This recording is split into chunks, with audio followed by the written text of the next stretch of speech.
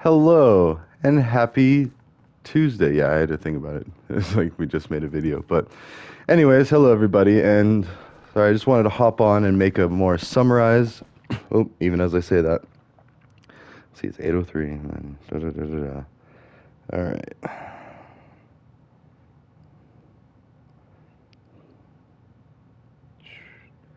So 830. It's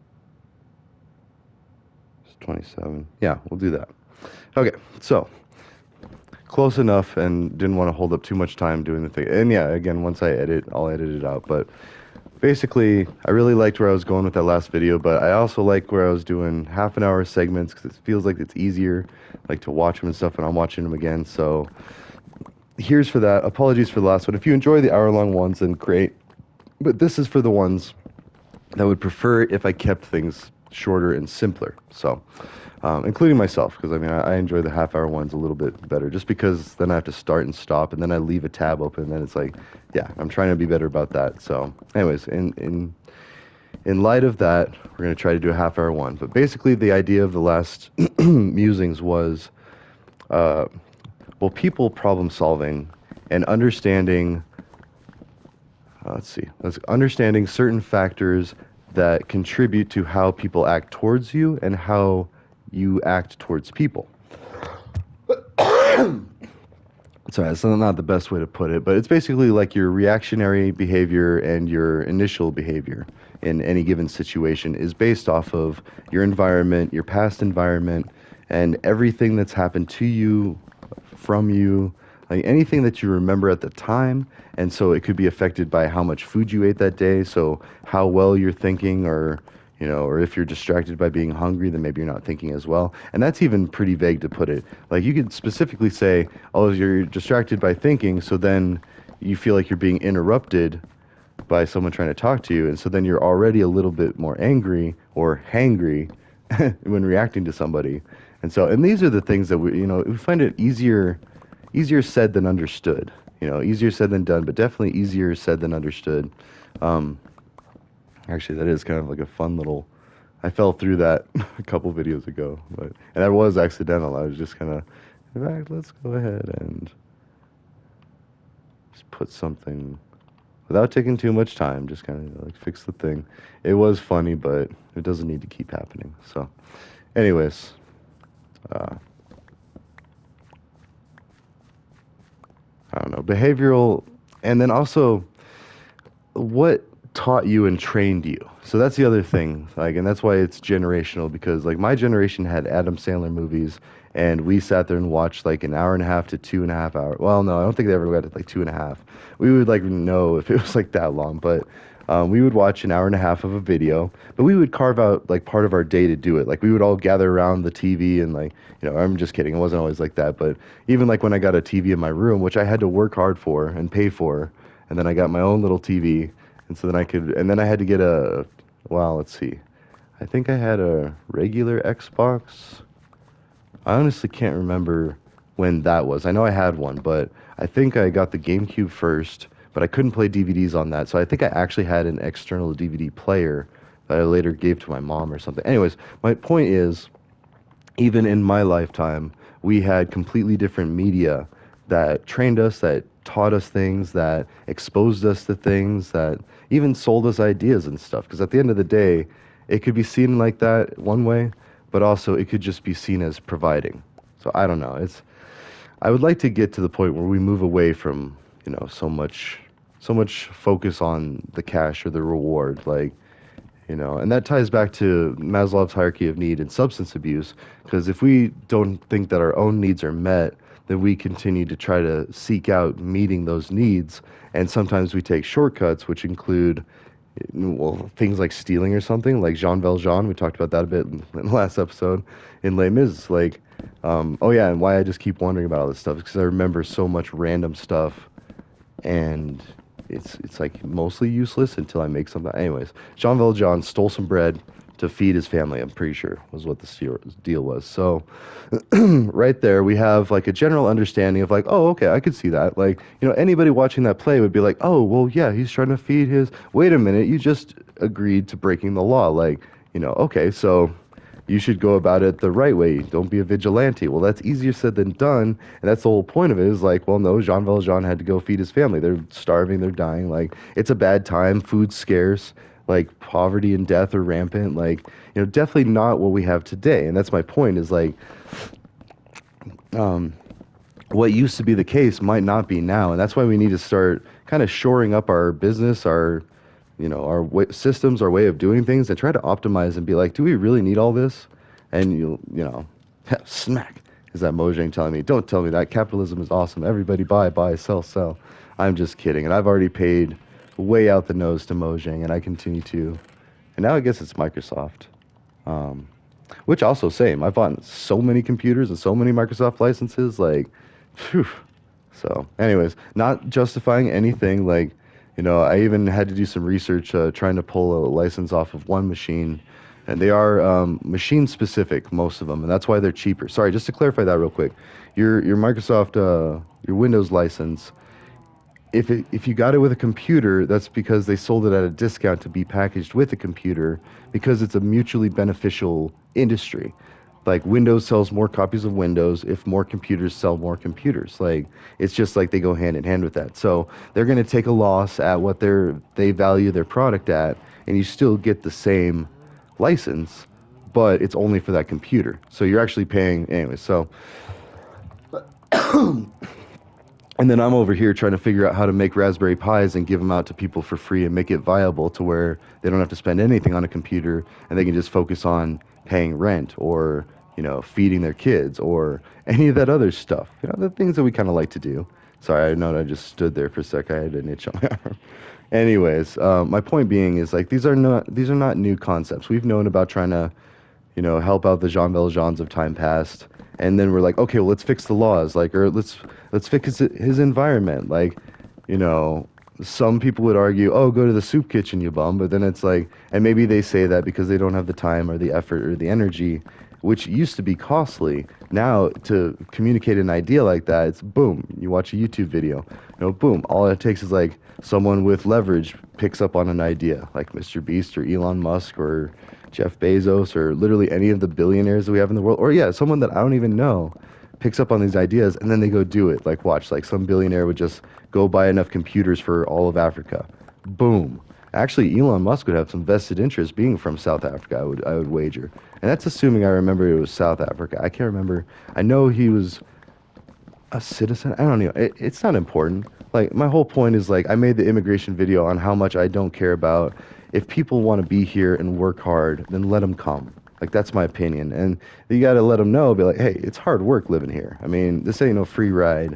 We all working out here except the ones that aren't. I mean, it's like, okay, so sorry, not those. So if you think you can go to Hollywood and sing, but most likely you're going to end up, you know, picking our produce or doing the things that we're not capable of doing. And it's not through any fault of our own. It's just that we're more caught up trying to succeed and get that American dream, like own our own house, have a picket fence, have a car or two, have a few kids, have a wife, have a husband, whatever. Like, okay, sorry, that's not the like the American dream, you know, if it's like two of each either, but um, just kidding.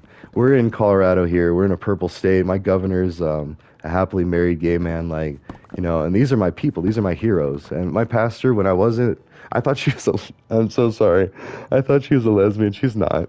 She's married. I made that mistake. But see, I assumed she was because she kept her hair short. I never saw her husband or her wife, and I just kind of assumed. And, and that was how little I cared because I was like, hey, she makes great points every Sunday. Like I, you know, the ones that I did listen to. Honestly, I learned most of my religious stuff in Sunday school, and that's why I, you know, because I drilled the Sunday school teachers so hard. Like, wait a minute, why? And it wasn't just me; it was the people with me. Don't get me wrong; it's like not, not something unique to me. Is like, given the right environment, kids will start asking questions, and when kids start asking too many questions, and because we had, you know, the earliest forms of technology, we had TVs in every household. Like, so you got to think about that I mean, granted, they probably had a TV in their house eventually, maybe, or it was like one big box of wood with like, you know, the screen. And even when I was a kid, it was still a giant box that, oh, let's see, I'm more likely to want the pumpkins. Anyways, um, my point being is like the, the transmission of ideas and the ability to process thought wasn't necessary. So they didn't learn and they weren't able to learn how to process thought this quickly. And so that's my point about reducing friction when working with other people that, especially from like, you know, if they're older, like and anyways, don't make assumptions. Like you know, and you don't have to, and don't make comments either, because it doesn't matter. The scalable way to handle that and the safest way is just, okay, I can acknowledge that. Or well, first off, you listen to them and like you're having a problem and you know and uh, there's an obvious thing like you're older than me. So okay so and knowing what i've had problems with that's why it's easy for me to relate because i've had so many tech problems that aren't even issues now. Like you don't smack your tv to fix it. Like oh you you would never smack a smart tv if it started breaking. Like that's how i mean i've seen i've seen youtube videos. See i've seen media where people break flat screen tvs just by the simplest things. Animals. I've seen a cat break a tv but then at the same time, oh, better go to Walmart and get another one or Target or, you know, pick your pleasure or your poison. Like, you can go to the store and get a brand new TV for like a couple hundred bucks. You can get a really nice TV for, you know, like a couple thousand bucks. But again, in my lifetime, it used to be you'd spend a couple thousand dollars or at least a thousand. And back when like a thousand was a lot more, but um, on a big screen TV that would fill the entire corner of the room or that's actually a side of a room. Like it was a wall, like how big those big screen TVs were. And and I my friend's family had one, and it was it was awesome. I mean, I was pretty jealous, but it was like, and there's and that's not nothing on them. Like they can't they couldn't do anything about how my family was a little poorer off, and you know, and that's just the the investment of skills because my parents invested in mining skills um, to go work in the mines up in Leadville, and they did really good. Oh, look, we do have some rails. Oh, let's go do that then. Um, anyways, we'll get way sidetracked. We're at, okay, we're doing pretty good for a nice, concise 30 minute version of what we did in the last one. But um, let's see. Even as I'm saying that, like, I don't know I have all that, but whatever. Let's just go. Oh, and there's the llama. That's right. That was going to be a short. I accidentally trapped a llama. We're actually going to leave the llama there. Sorry. That, that seems a little. Yeah. like, don't do that. Oh, wait. Here. How about this? we'll give you a ride. Have fun, llama. That is so cool. Ah. So that was an accident because I bailed on the minecart. And I guess a minecart in motion has the ability to pick up an animal. And now I know that. That seems like obvious in hindsight. I kind of feel like that's a thing because I've used that and that's how I got the villagers from the village over to here. Is I had to basically kidnap them with a minecart. Yeah, this game is not humane. It doesn't claim to be. It's very fictional. So, like, you don't just run around punch. Unless you're in South Park and you're Randy Marsh, Marsh, then you do punch trees.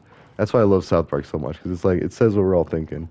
Like, oh, okay. But anyways, the point of all that is, is uh, uh, what I basically ranted on the entire hour last time Actually, that was what I was trying to. Uh, you know, let's just let's actually just keep harvesting crops. We we need a place for all this though. Like this is my project uh, chest container, whatever. This is where I usually put things when I'm trying to. Yeah, so I can even take some of this. And a couple more. Actually, no, no, leave the stone that, that, that. Whew. Oops. No, you need those because if I do on the maps. Anyways, so, and that's why it took a whole hour is because I kept running and doing some of that. So basically, my point is different perspectives, different um, environments, different factors will contribute to a person's behavior. And that's important to just remember. Like, it doesn't have to be, well, to a lot of people that's going to seem obvious but then until you actually like really see it from the correct angle it's not truly obvious. Like you'll have an aha moment. Uh, hopefully and just be able to be like oh okay so i see either more clearly what he was saying or even a different thing that he could have been saying but maybe not. I mean maybe you inferred a false positive that actually makes sense and that's fine. Like that no matter how you got there, as long as it wasn't illegal or immoral, I mean, and we we've soapboxed about that too, like the morality and legality. Like even in what was that? Yeah, Jean Valjean stealing a loaf of bread. Well, you don't have to do that nowadays because we have the food bank. And I know because I, I did. I used the food bank when I was in college and like dirt poor, and I was on the Pell Grant, and yeah, and I was drinking. So then I only went like once. Actually, come to think of it, I think I just went the one time and I was so embarrassed to do it. I just like I, I think I sucked it up and I asked for more money from the ma like uh cuz uh yeah. But I know it exists. I know it's there. I think it was also partly because of like I was standing there next to people that were clearly in more need. But then some that not. I mean, like you again, you can't judge a book by their cover all the way, but you can get an idea. But that's not fair and you should still keep an open mind just as a scalable way to approach interacting with people. There you go. So that's the roundabout whole point of all that. Let's see, how much room do I have? Yeah, I can just keep. So, and I, I, honestly think that the younger generations are already understanding this better than we did because they've been born with tech, raised with tech. Like they're already used to understanding things that, you know, milliseconds to our seconds or our our one Mississippi, and now they're processing things just like lightning's fast. So, and that's fine. I mean, we we can't be bitter about that. Like, uh, we might be for a while, but at the same time, as long as we just acknowledge it, and as long as younger generations acknowledge it too, because that's a two way street. Um, because oh, I can't tell you. One thing I've noticed is like a lot of people well, first they're embarrassed that they're having a problem with tech, and that's like the biggest thing. It's just like, no, don't be embarrassed. Like this is, it's just completely natural. Like I get paid good money just to fix these problems all day. Like this is, I mean, there's enough of, and something that was put to me at one of the places I worked at. They told me, well, IT is an expense. You don't actually produce anything. Well, it's like, well, that's true, but ouch. First of all, and then second of all, like, so that's why they didn't want to like, you know, the pay wasn't high or whatever. And like, and it made sense. Like it totally makes sense, and I think that's why they wanted to start doing the um, the ACT degree. I, I, I really should look at when they did that because that's a hybrid degree of computer science and business. And I thought, I mean, I still think to this day that one of the main reasons that they had that was so people can understand the logistics of okay, I cost a lot of money. I need to make this software right, or at least we need to get it right to where we're not wasting a bunch of money. And only because, and it probably didn't take long for like the entire industry to realize, oh wait, we just threw away like you know hundreds of thousands of dollars when we didn't need this development team or we couldn't do this um, project with this development team. And then the business is gone and people's jobs and all that. Like and that's why I, I, said i don't know if that was the last video of this one but let's let's say it again in this one just to be sure. Like when you rob a bank you might think it's a faceless entity but you're actually robbing like potential jobs for people and potential, you know, this and that. It's not all Tuppence and Mary Poppins, like where we think the bank is always evil. While yes, there are some definitely evil seeming practices, but even that is like they're beholden to shareholders. And so even that, not justifying the behavior, but it kind of see, there's another pumpkin. So I'm like spot on. But that justifies or that doesn't justify the behavior, but that explains the behavior. Whew. Sorry, got it out. But and as long as we take everything with a grain of salt and just kind of not relax, but just breathe, take a sec, compose, and then go. And be able to stop, pivot, reassess, all of that good stuff. I mean, because we are, and we're slowly becoming more capable. And that's the other thing to know is every last person is capable of doing this stuff. It just takes an understanding and it, it, takes some empowerment too. And see, that's the thing is like the empowerment is like the elbow grease. Like you'd say in some like I used to work in restaurants, like oh go in and scrub this down. You got to use a bunch of elbow grease. Well, it's also kind of like actually just kind of like grease, reducing the friction. All right, that's a horrible analogy in this situation, but empowerment reduces the friction to where they're able to do it themselves. And really, that's what they'd rather do. I mean, and, and that's the that's the bad thing because I and I constantly try to tell people like it's not a problem to me like this is it's okay like this time is okay for this and like you know and, and granted i kind of do go along with some people but that's because i also don't want to do half majors i don't want to leave something half done and it really does take you know just a couple of hours and then it's like okay. And then they'll you know oftentimes they'll be empowered to like start doing things. And it's not that they're not trying to and that's the other thing mind you. Like i can see the logs i can see whenever they try things like trying to set up their accounts and stuff. And so i know that they're trying and it's like and that's another reason. And i don't want to tell people that be like oh yeah i can see everything you're doing like because that's a little bit off-putting you know because there are some people that are still very skeptical about the surveillance aspect of tech. Whereas I I know enough about tech to feel comfortable to where yes I'm bothered by it, but at the same time, like it's ultimately not going to be like how do I put this? Without sounding like a sci-fi sci-fi horror movie, be like, oh, this sounds exactly like the movies. Like, oh, just play along, eat the Soylent Greens, like follow that. No, it's not like that. It's because we're all people, and at the end of the day, even the people watching the people don't want to be watching the people like that and so they would rather the problems just stop happening. Hence why, and this is going to be really creepy if I did ever come out as like a secret agent or something, because it's like, woo, like, you know, I was, I was part of the New World Order this whole time. Like,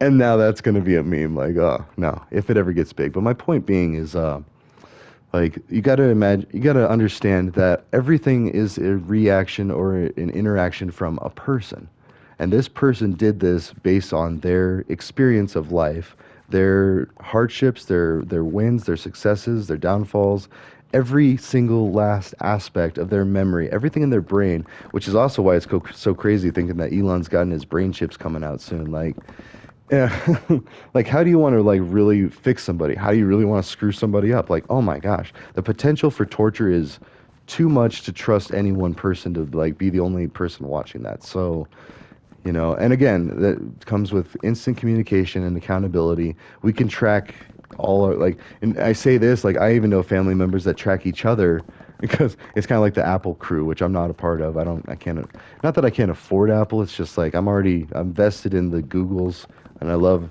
a lot i mean i am a team google sorry. All of these things that you got to be like well no what i mean by this and uh,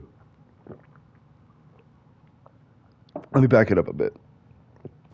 We're all people, and we all would rather just fix our own problems because the unfortunate aspect of being a burden on other people, whether it's real or inferred, you might think that you know, and, and, and no matter how bad someone can tell you, and the other thing is, and this is one thing. So if you're going to get into tech, and this is very important, and I'm going to put that in um, put it in the Jamboard for the career advice for IT, you need to assume that someone can be listening at all times. And I say that because I've had several IT coworkers um, ta- speak ill about someone, and it comes off as like, oh, teehee. I mean, it might be just like a harmful thing, and and I do it too sometimes. it's just like, or I have, and that's like those cringe moments I want to say I've been careful, but I mean, again, to be really scalable about that, I can't say for definitive. Ah, let's see. Now we're talking about melons. Yeah, we'll do that. And then we'll also do that. Okay. First grab these. Oh, yeah, because the axe is especially getting down there. Ooh, you know what? No, we're not even going to do that. We're going to heal up the axe while we probably finish up this episode. Yeah, like seven minutes. Um, anyways, my point being is um, we need to be easier on each other and we need to be careful with what we say. Like don't sto- don't throw stones in glass houses. And basically, like I grew up in a small town community and I've come to the city and honestly, I have noticed that it's gotten a little bit more relaxed because I've kind of adjusted. Not saying that's like a good thing or justifying it, but and I'm still trying to work on it all the time. At the same time, though, um, let's see. Oh wait, wait, wait. We can put those in the yeah, let's put all those in the travel thing. Even though I was trying to like put those back at the map area, but whatever. Yeah, let's do all that. Why not? Um, anyways, I try to be careful, but you can only be so careful so much. But so, and that's why, like, I try to leave things in ways that it's not gonna bite me down there. Oh, we got the llama. That's right. Um, actually, you know what? This is fun. I, I think the llama's having fun. We're gonna we're gonna walk it. We're gonna push the llama. Anyways, um, I try to I try to act in ways that I don't have to do a lot of maintaining them further down the road. So if it takes me a couple extra seconds to put something back all the way, or if I know, especially if I know something's gonna fall, like you know, they they kind of joke about um, like married couples like leaving awkwardly like positioned dishes in the ca- ca- cavern, cabinets, cupboards, whatever. Um, the cupboard knits. Bye, llama. Have fun. Uh, that's gotta be. Uh, that is having the time of his or her life. their life. They're having the time of their lives. There you go. See, see how easy that is. Like, and I do that at work too. If I don't know if it's a he or she, I'm just like, or you know, anything in between. I'll just be like, they, boom, and not try to minimize it to that. I'm just trying to explain. Like, it is the easier way. I've had people say that for whatever reason, that's just really hard for them to grasp. And and actually, even saying it like that, uh, the whole point of what I've been talking about is we need to understand that people. It's not that they're built different, but they kind of are now. Like they're trained different. They're grown. They grow up differently. Like they have different concerns, cares, worries. Like everything's different. The game has changed, and it's constantly changing. Oh my gosh, we got a parrot. Are you are you gonna? Are you one of mine? No. You can be. Can't mind being all possessive of an animal, but actually it is. It's a game. So. Just actually no. That's fine. We'll keep them wild. Sorry. Even that, like, are they judging me? Like, huh, huh, huh. They're not, but it is computer code, underlying computer code, unless someone is actively. I digress. Um, my point being is people were trained differently, and, and the tools were different too, mind you, like uh, typewriters, keyboards, like, you know, these things. College life was different, higher education was different. Now, you know, everybody's got like a computer in their house easily. And, well, and if they don't, I'm I'm doing several projects. Oh yeah. Oh, and I saw the note from the CEO of Redkey USB, and it sounded like word for word what I said in the, like the advice.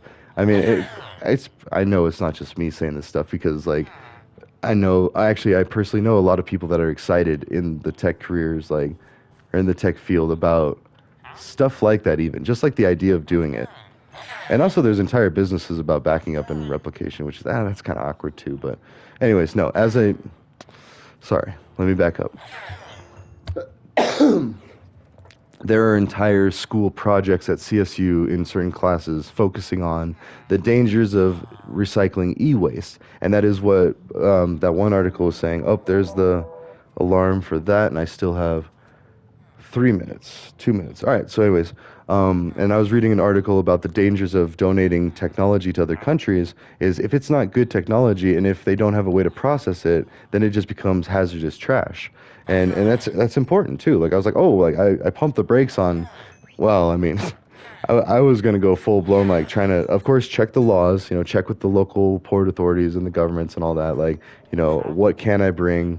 Like, can I donate this? Is this gonna be okay? Like, you know. Anyways, and there are ways too. So that just means that you need to be more careful about what you do. And with like something like Redkey USB, I know I, I do sound like a spokesperson for it, but it's like it's so true. It's it's easy. It's a flash drive, and like you can wipe a computer, and you can know that it's wiped to Department of Defense standards. That's the key important thing. Is like because you can wipe things before. Do you really know? And honestly, I don't even trust myself unless I see for myself, like doing some actual digital forensics. And I started to learn that but only a basic level. So I would still need to practice it. Um, so I'd want I'd want to see someone else do it, and I actually already know somebody that I want to kind of ask. And in fact, I still haven't done that. Oh shoot, I should write that down. Hold on, hold on, hold on. And I know we got two minutes, but this could be this could be something. So ask.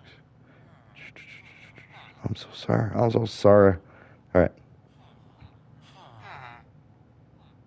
Okay, cool. So, anyways, the whole point of that is is different environments cause different skills and different levels of and everybody wants to fix their own stuff. And we got to get them to the point where and patiently get them to that point where they feel good enough to start doing it themselves. And then also uh, something that else that goes really far in IT is just letting them know that you're there for them.